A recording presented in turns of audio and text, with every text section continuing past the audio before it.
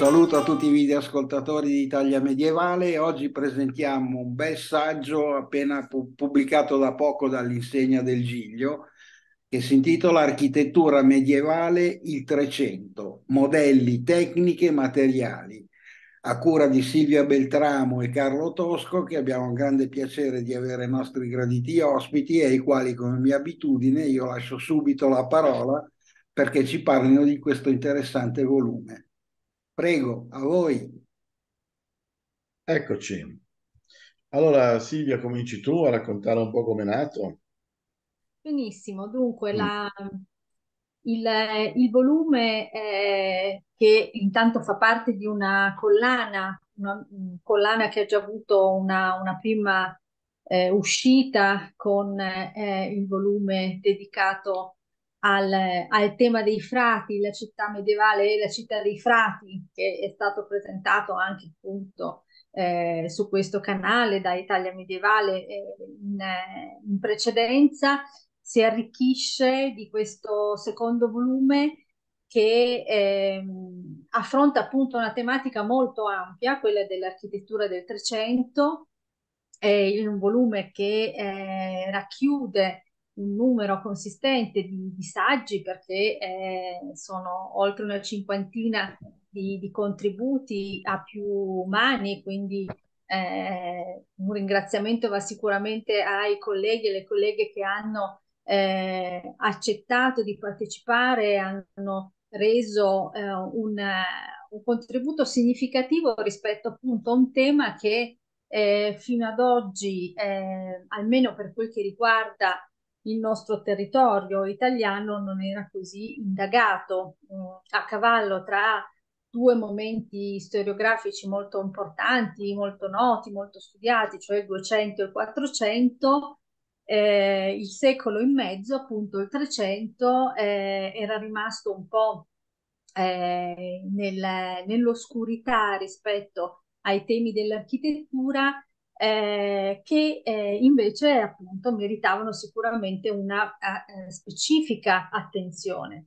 Eh, ovviamente quando parliamo di architettura parliamo di eh, edifici, di complessi, di parti di città eh, conservate o non, nel senso che abbiamo comunque dato spazio anche al contributo della, dell'archeologia sui temi eh, di un'architettura che però conserva ancora oggi eh, tracce veramente significative e importanti. Sono cantieri, siamo, mh, troviamo appunto all'interno dei saggi cantieri monumentali molto, molto noti come le cattedrali del Trecento, eh, eh, e arriviamo però anche a casi meno noti, cioè eh, a edifici che fanno parte di contesti territoriali eh, più minuti, ma eh, sicuramente compongono un panorama che voleva essere, insomma, non intendiamo esaustivo, ma sicuramente ben rappresentato.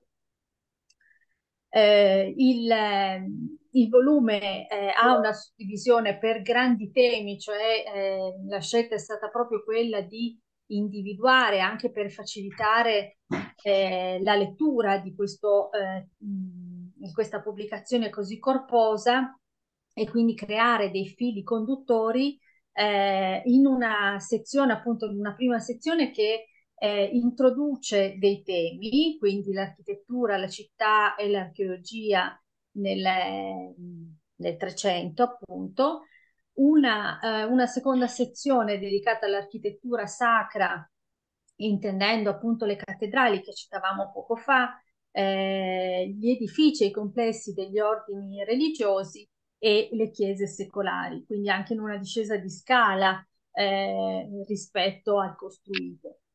Eh, una successiva sezione che invece riguarda eh, l'architettura eh, civile e quindi eh, in particolare eh, gli edifici che sono edifici che nascono con una funzione precisa, come per esempio tutta, quel, tutto quel grande panorama dell'edilizia dei palazzi comunali, dei palazzi del potere, quindi del, dei palazzi che servivano per regolare per la vita della, delle città, ma anche naturalmente eh, i palazzi privati, quindi l'edilizia eh, privata che proprio nel corso del, del 300 ha uno sviluppo significativo con un aggiornamento anche sui temi del costruire, la funzionalità, la disposizione degli spazi all'interno. E poi le ultime due eh, sezioni del, del, volume dedicate appunto all'architettura fortificata, insomma i castelli del 300 sono ancora oggi per noi patrimonio noto, conosciuto e sono un po' quelli che maggiormente interpretano l'immaginario del Medioevo, no? quando noi pensiamo ai castelli o, o, o li vediamo eh, facenti parte di eh, film piuttosto che di eh, altri eh, aspetti de della comunicazione del Medioevo, ci riferiamo soprattutto a questi castelli di questo periodo piuttosto che eh, a quelli più antichi. E poi naturalmente il dettaglio del costruire, quindi un'architettura che è fatta di materiali, che è fatta di scelte costruttive, di sistemi eh, costruttivi ai quali appunto abbiamo dedicato eh, l'ultima eh, sezione in cui è articolato, in cui è composto il, il volume. E, ehm, quindi appunto molto ampio come, come temi rappresentati, eh, eterogeneo per la partecipazione perché gli autori eh, sono autori internazionali che provengono da eh, ambiti eh, non solo geografici ma scuole proprio di, di studi, di ricerca eh, consolidate nel corso del tempo e di provenienza europea e, e anche discipline proprio perché accennavo all'inizio all'archeologia ma abbiamo avuto anche contributi da parte delle discipline del restauro, eh, da chi si è occupato più del, eh, della parte della rappresentazione, del rilievo, anche proprio come strumento di lettura e di analisi per queste architetture. Mi fermerei, lascio la parola a Carlo. Eh. Eccoci. Allora, sì, dopo questa introduzione eh, di Silvia Beltramo che ci ha aiutato a entrare dentro il volume, qualche riflessione, forse culturale, no? sul significato che un'operazione del genere può avere. Beh, innanzitutto, forse no, no, non mi ricordo se l'abbiamo detto, ma il volume è scaricabile, mh? Hm? è accessibile a tutti, quindi credo anche senza abbonamento o registrazione si può scaricare e, e quindi è un volume aperto, sebbene sia di molte pagine, quante pagine sono? Non ce l'ho qui davanti, ma sono... Sono quasi 600 pagine. Quasi 600 pagine, quindi è un lavoro impegnativo che è offerto a tutti, quindi tutti in qualche modo potranno, eh, gli interessati potranno usufruire. Allora, è un tentativo di riflettere sul 300 e di rifletterci in modo non unitario, perché per forza un volume miscellaneo è un volume non unitario. Quindi non c'è una voce che in qualche modo tira le fila e dice, bene, signori, il 300 europeo è essenzialmente questo. Non c'è perché non ci deve essere, perché in realtà eh, un aspetto affascinante di questo volume è la sua polifonia. Cioè un volume polifonico, come Silvia ricordava, ha diverse sezioni con diversi argomenti, ma anche proprio diversi eh, spazi. In questo senso è sicuramente squilibrato, cioè ci sono più aree più approfondite di altre. Ma perché? Ma perché eh, la disponibilità degli studiosi, le nostre collaborazioni, le nostre rete era questa e quello noi presentiamo. Quindi non, non aspettatevi un volume che analizzi, analizzi in modo esaustivo e sistematico il 300 europeo ma piuttosto una serie di riflessioni, una serie di affondi e di ehm, indagini più o meno sistematiche su un grande secolo, su un grande secolo della storia europea. E ora proviamo a fare qualche riflessione su, eh, questo, su questo secolo e sui suoi aspetti architettonici. Quando si parla di 300 spesso si parla di crisi, no? È il secolo della grande crisi. Ah, nei manuali di storia, di storia c'è sempre la peste del 1348 e, e, si dimentica sempre che poi le pesti sono tantissime, per per tutto il 300 ci sono ondate epidemiche più o meno forti, quella del 48-49 è sicuramente la più, la più eh, devastante, ma ce ne sono molte altre, eh? ce ne sono molte altre lungo tutto il secolo, soprattutto nella seconda metà del secolo, quando si inaspriscono. E la popolazione europea rimane progressivamente segnata da questo progressivo eh, crollo demografico, che comunque un crollo in alcuni casi le città perdono anche un terzo della popolazione.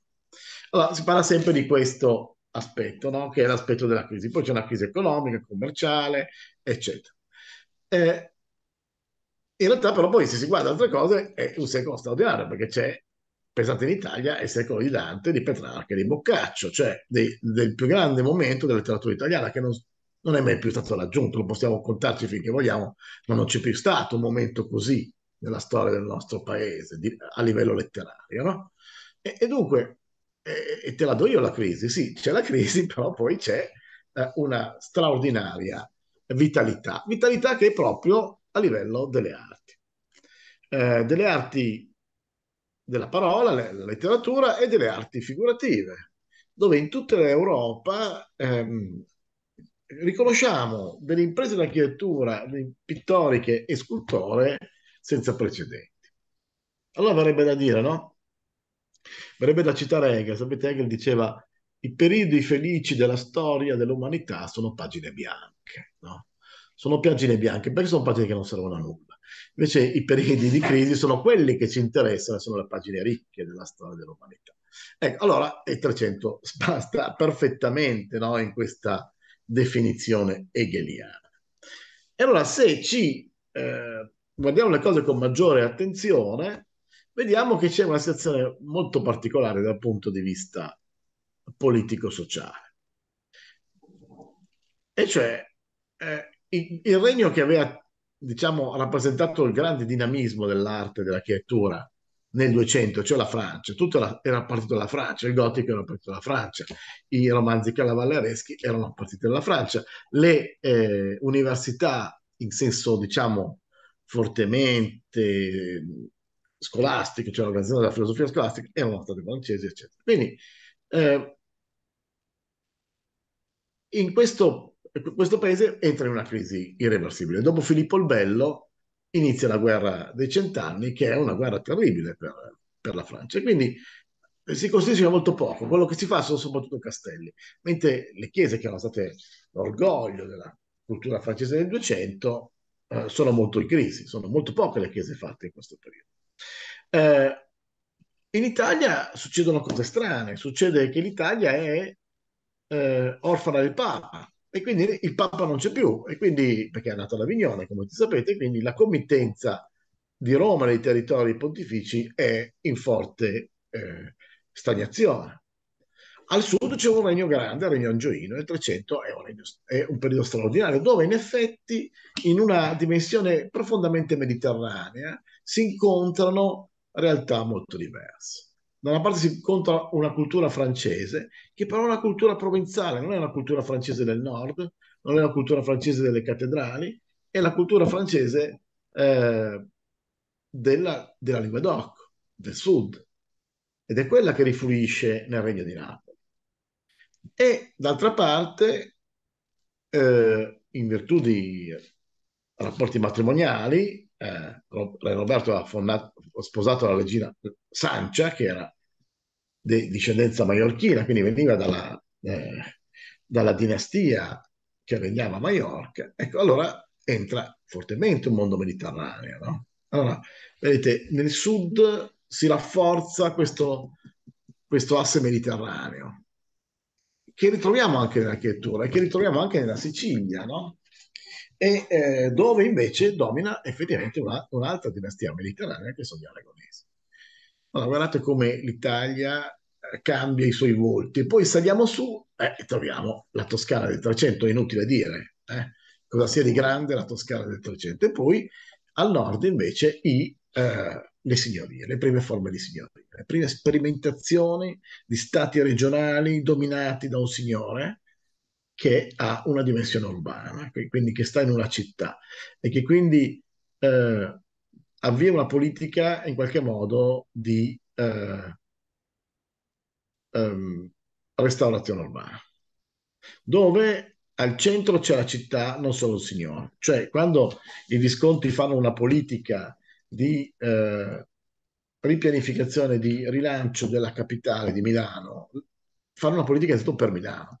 Certamente è la dinastia che è sullo sfondo, però al centro c'è Milano, c'è la città, c'è la Repubblica Ambrosiana, c'è la, eh, la grandezza di questa, di questa storia. Allora, capite? Questo è per darvi soltanto qualche idea della varietà del 600, il, 600, il 300. Il 300 è un, un secolo di straordinaria varietà, di straordinaria vitalità. E quindi quando si sente parlare del 300 come il secolo della crisi, veramente non si capisce quale motivo. Beh, perché cioè, l'abbiamo detto, la crisi c'è, ma è proprio in questa crisi eh, generale, che è una crisi di, epidemica, sanitaria, eh, di ordine pubblico, eh, di, di, stato continuo di guerra, c'è uno stato continuo di guerra nel 300 in tutti i paesi europei tendenzialmente. Ecco, in tutto questo però eh, le arti figurative conoscono uno sviluppo veramente straordinario.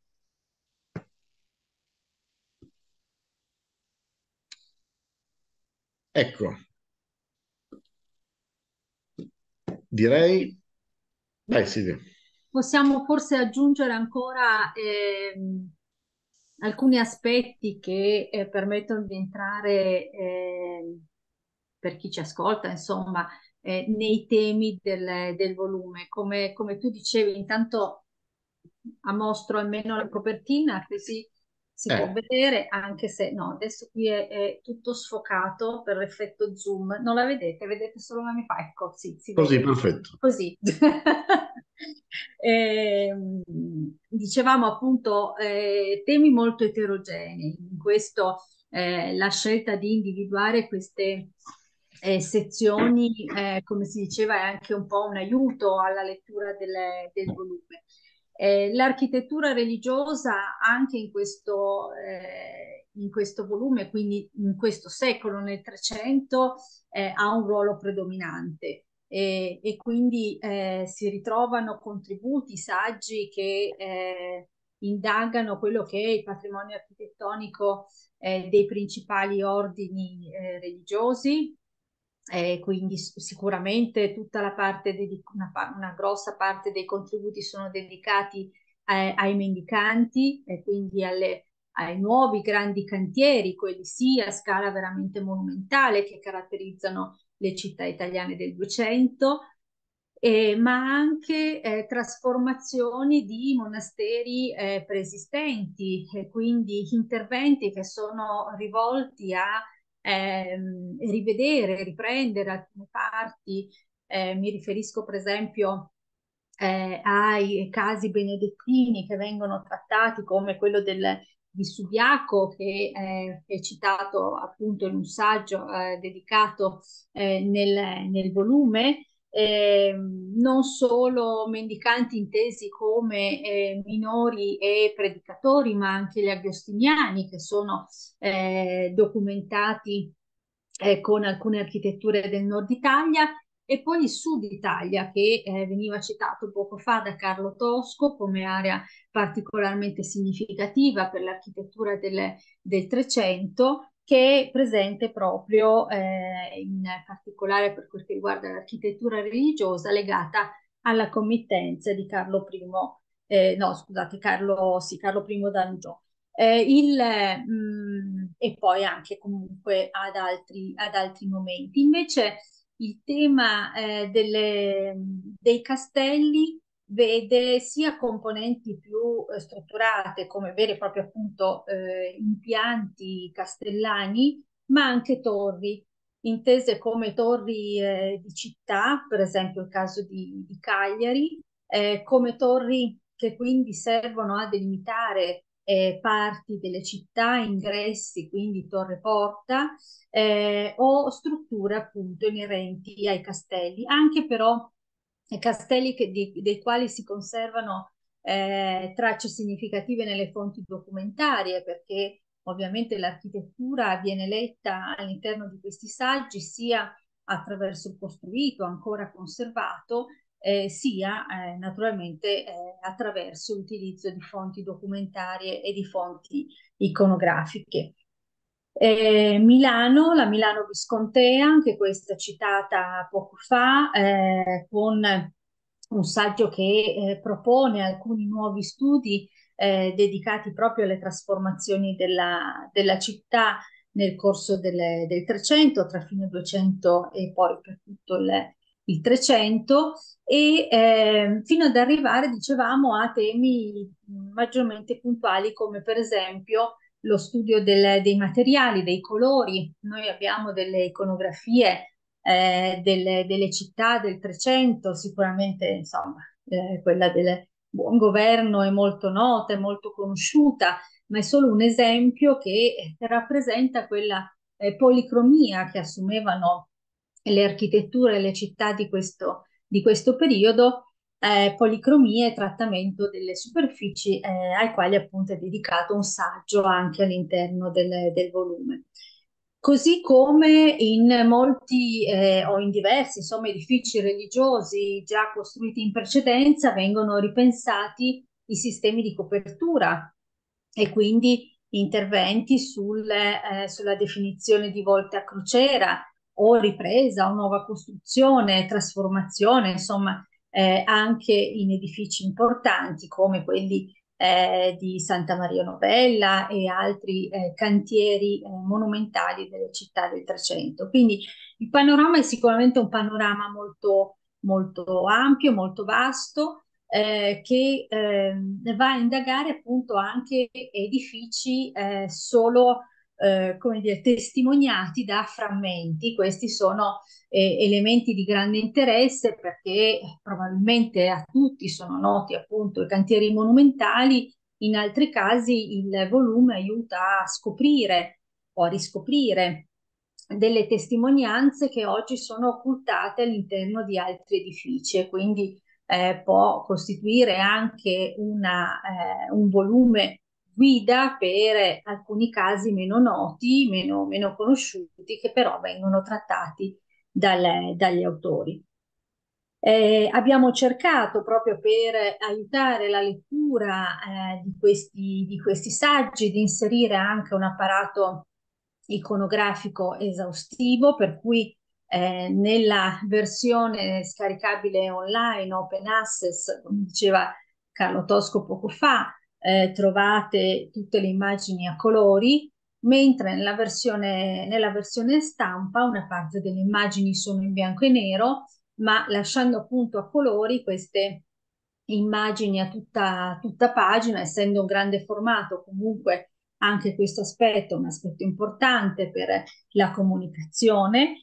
Eh, dicevo appunto lasciando a piena pagina le immagini introduttive delle sezioni e dei saggi in questo modo una sorta, scusate, una sorta di biglietto da visita per il saggio che poi viene, eh, viene trattato appunto nelle pagine, nelle pagine seguenti.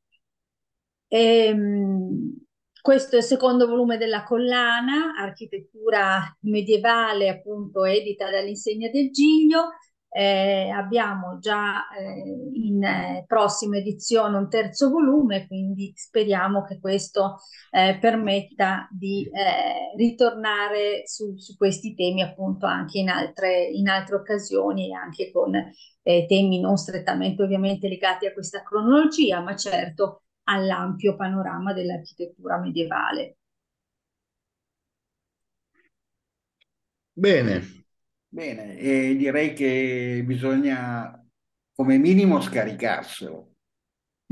E come minimo. Eh, poi magari anche comprarlo, eh, perché sì, lo sforzo dell'editore va, va, ripagato in qualche modo. Quindi io mm. ricordo il titolo che è Architettura medievale, due punti, il 300, modelli, tecniche e materiali, pubblicato dall'Insegna del Giglio a cura di Silvia Beltramo e Carlo Tosco, che abbiamo avuto il grande piacere di avere i nostri graditi ospiti, che io ringrazio tantissimo per aver accettato il nostro invito.